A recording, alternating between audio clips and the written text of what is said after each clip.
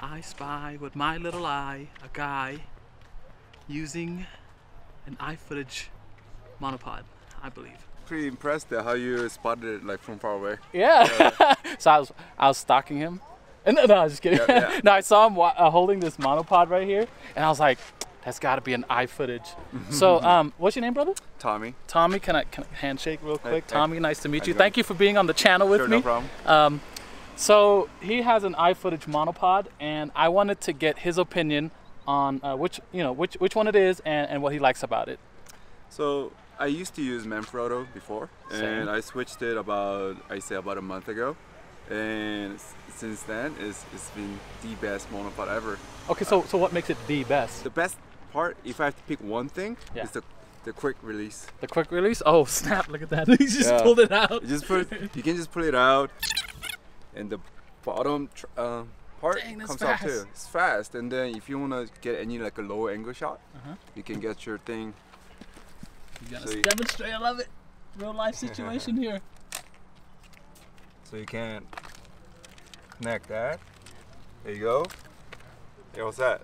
Perfect. So this is um you can never do this with a Mon- uh, Manfrotto Yeah. and um the uh, what's it call it this uh they call this this ball joint. It's Okay. not as strong. This is really strong. So The you can actually you can okay. almost use it as a tripod if you need to. Okay. But I don't recommend it Uh-huh. because sometimes there's a really high wind and uh, it might knock your camera like you know Uh, I, I've broken a lens before. yeah, yeah, I have to. So, so, so Yeah. I, I mean, if you have to, you can do it. So, yeah. So this is the best one, I say, and this is super light, yeah.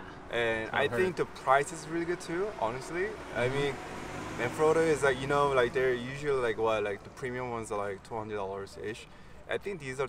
I forgot how much it was, but it was like 150 ish, right? Yeah. I think. Yeah, So- 159 or something like that. Something like something that. really yeah. cheap, like 150 range. and they're really tall too. And um, I don't know if you um, if you're a fan of the Twist? twist. yeah, twist I'm not a I fan. hate that. I, hate like the clamp thing. like that. Yeah, it's, it's you're you're you're you're um, because you sometimes you're not sure if it's locked. Yeah. Hundred percent. Yeah. Sometimes and then you're in a hurry and then you can sometimes miss your shots or it Or your camera fall. Yeah, exactly. Yeah. So I, I I I hate that. So this is perfect. So everything about it, I, I love it. Um, Dang, I didn't fast. think uh, I need the uh, new head, so Mm. I just bought the just the legs.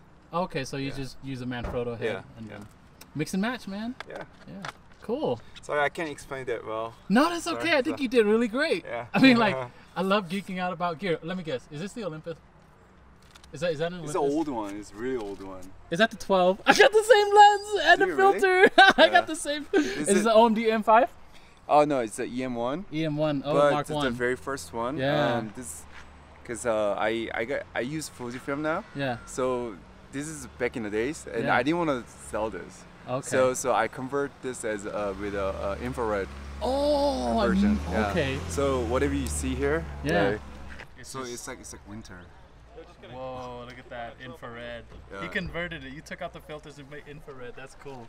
Oh no, actually I got the sensor converted. Not- oh, the not- sensor needs to be converted. Yeah. So you have to send No, send you it can do huh? the other way too. You can you can use the filter too, but the, the thing is that um, I think you have to have it on tripod because Yeah. it's uh, it's not fast enough. Yeah. It blocks too much light. Okay. That's what I heard. But um, so if you use uh, different, are you here by yourself or? no, I'm with my family. Oh yeah, They are, told are they they waiting? No, they know I geek out about cameras all Yeah, the time. All right, cool. I'll show you one more thing. So it depends on. Uh, this is a full spectrum conversion, oh, okay. which means uh, depends on Yes. what type of uh, color filter you put on. Um, it changes the color. So so you're going to green right now. now I'll show you. Goodness. Depends on um. Depend. Now it's purple. Oh, what? Depends on the um, color temperature you set. Oh, yeah, yeah, yeah. yeah, yeah, It, yeah, it gives yeah. different colors. That's dope. It's kind of nice. I mean, That's cool. you don't want to do it all the time. Yeah. It's too overwhelming. Yeah. But yeah, it, it's pretty cool every once in a while. It's a different, um, when you do infrared, it's a different kind of feel for black and white. And, Yeah, right? that too, And, yeah. it's a different feel. Yeah. It's uh, almost like all high key. you Yeah, know? the the sky gets super dark yeah. and everything becomes super bright. Like Yeah. the, especially anything green, anything that reflects light yeah. becomes like super white. Yeah, that's so it's pretty dope. cool. I'm so glad you're geeking out with me. and notice, notice, he just leaves the tripod like right there. I oh, know, right? oh, I said, I said tripod. What I meant to say was what? Monopod. Do you have Instagram or anything so I can help promote you? I uh, recently started my um, my YouTube channel also. Same. It's uh yeah. Did you Yeah, a year, about a year ago. I'm, Okay, I just started like two months ago. I'm gonna help promote you too. Alright, Tell cool. people your YouTube channel. Um, it's it's called Shoot with Gunner. Okay, spell it out for the people. Shoot like shoot. Okay, Shoot with S Gunner. H O O T G U N N E R. Yeah, Shoot with Gunner. yeah. Shoot with Gunner. All right, go follow this guy. Alright. Subscribe to his channel. I'll put it right down here. Look, I know you guys can read. Right down here. Thank you, man. Wow, that was great meeting Tommy. He's like way over there, and the reason why he's way over there now is because he forgot that he has his GoPro mounted on top of his car. so I'm hoping and praying that no one stole his GoPro.